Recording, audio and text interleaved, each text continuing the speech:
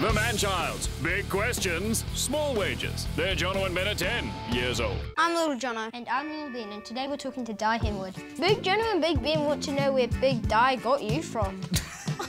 He usually just carries me around in a little sort of front pack, little baby Bjorn. Did you model your eyebrow look from Bert from Sesame Street? He may have modelled it from me because I've got a stronger eyebrow. Monobrow. That's um, that's pretty pretty pretty harsh call and cutting.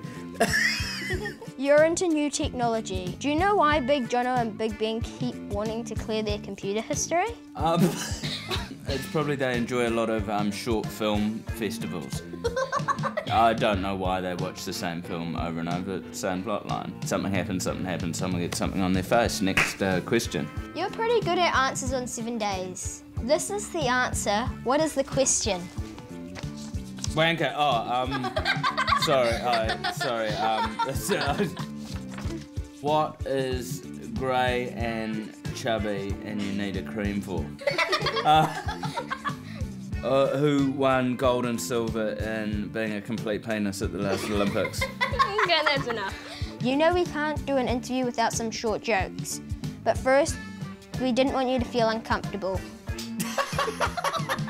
okay. Can you ride a dog like a horse? Yes. Is your car Hot Wheels? Um, no, it's a bit smaller. Have you ever been a victim of short poppy syndrome? Yes. Are you still cast as baby Jesus in Christmas pageants?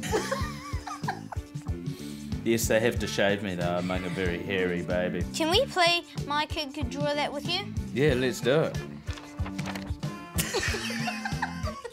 I've got a bag. When they finish filming, hop in that bag and I'll wheel you out of here, okay?